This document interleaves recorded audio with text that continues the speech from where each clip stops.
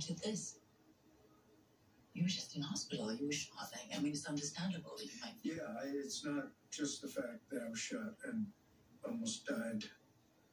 Although that played a part in it for me and for Sam, but not the biggest part.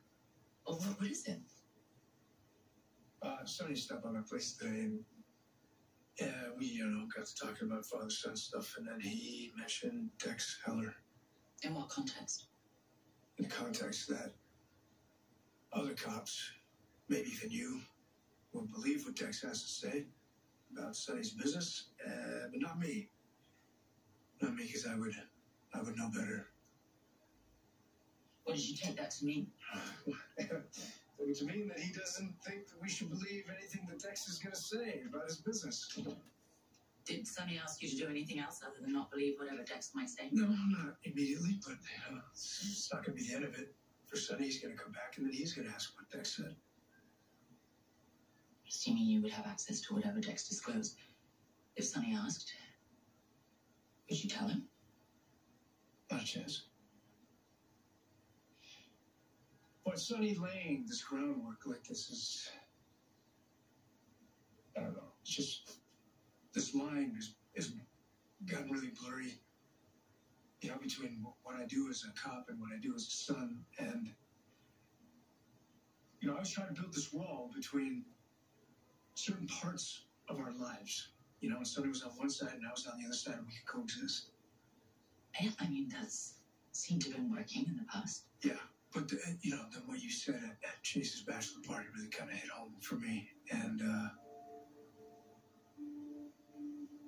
I have thought about what Dex working for the PCPD could mean for a father. Information that he could pass on, and, and I, I hate that that thought crossed my mind. You're being really hard on yourself. I mean, aside from your remarkable recovery just now, you're only human. Yeah, but I'm a cop. Yeah, you're a damn fine one, too. And worrying about something isn't the same as intervening or interfering or sharing intel. No. But to me, it sure feels like a betrayal of everything that this badge stands for. So, it's gotta end. Tonight. Can I ask you what has you stuck in your own thoughts? Yeah, it's my daughter. I have uh, more than one, so I'm Yeah. stuck in my thoughts a lot. Man, I just have one, and that one's a full time job. And a thankless one, a lot of times. I know what that's about.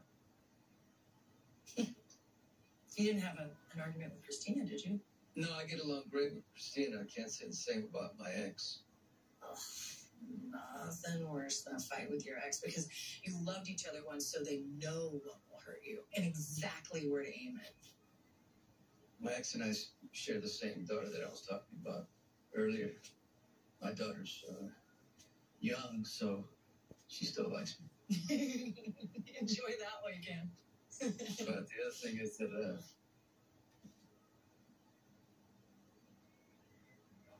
I'm bipolar.